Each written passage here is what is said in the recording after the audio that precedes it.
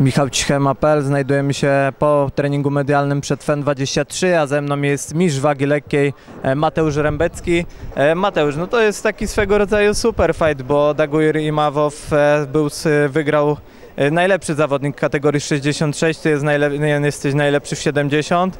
E, Byłeś zadowolony, że taki rywal został dla ciebie wybrany? Witam wszystkich. E, tak, jak najbardziej.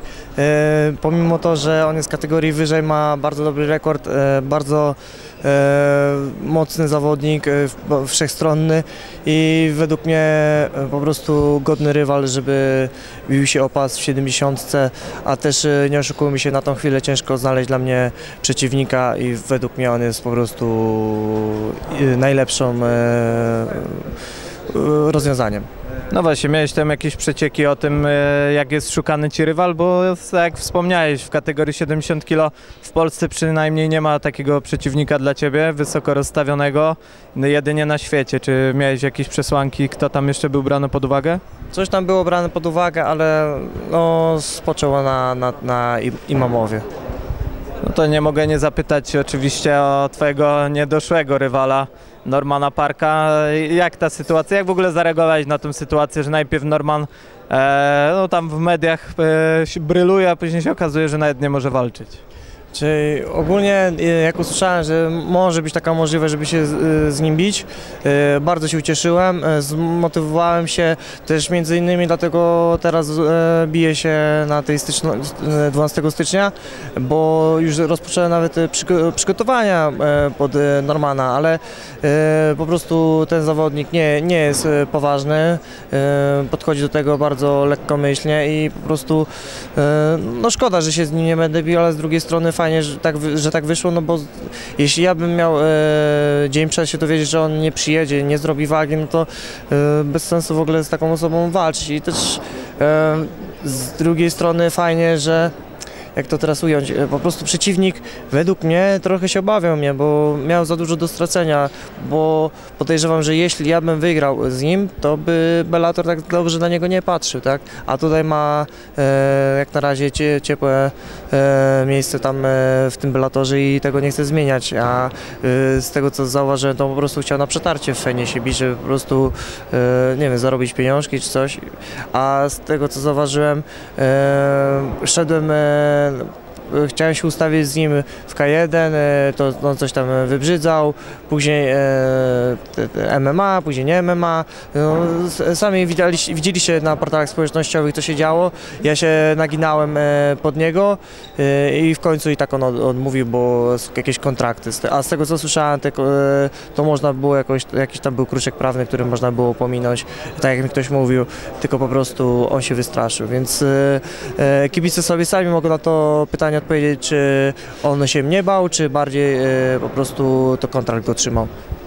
Właśnie tyle było tam e, perturbacji związaną z tą walką, więc jeśli teraz e, następna twoja walka miała być z Normanem Parkiem, to wejdziesz w nią bez problemu? No, przemyślę to.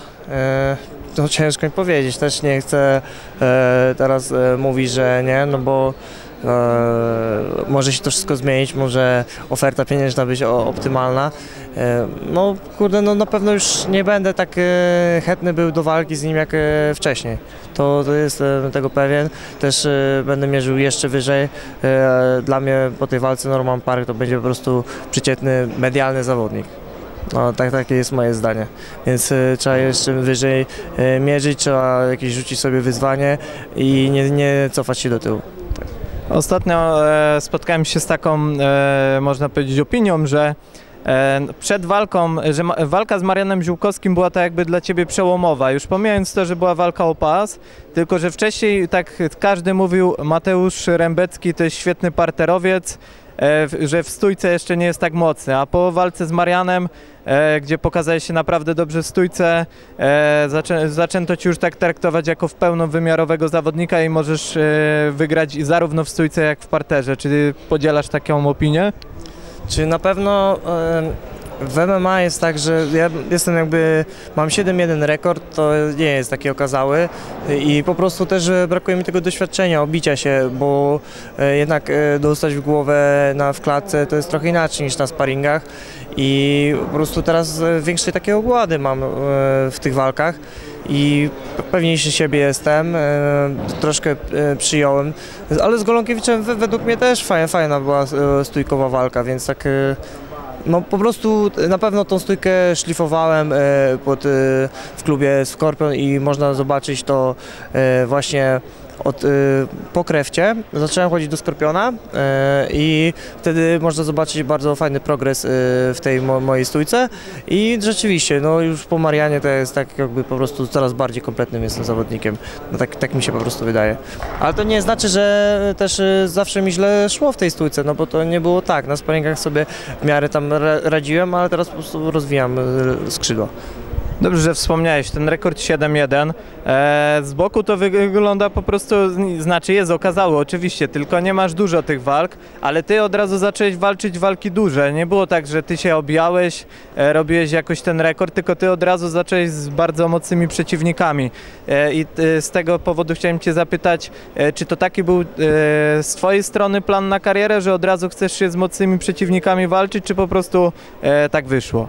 Na pewno wpływa na to kilka czynników, bo ja jestem e, czynnym zawodnikiem jiu-jitsu, e, e, submission fighting i po prostu e, bardzo dużo startów miałem e, w tych właśnie e, formułach i to i wtedy rzadko się biłem w MMA i to nie byłem po prostu dużo startowałem, tylko mniej w MMA i to y, powoduje to, że mam taki słaby rekord, ale według mnie doświadczenie sportowe jest y, w tym przypadku duże.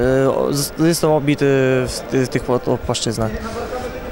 Dobra, Mateusz, nie będę Cię dłużej mę- męczył. Dziękuję mistrzu za wywiad i powodzenia w sobotę. Dziękuję bardzo, pozdrawiam wszystkich.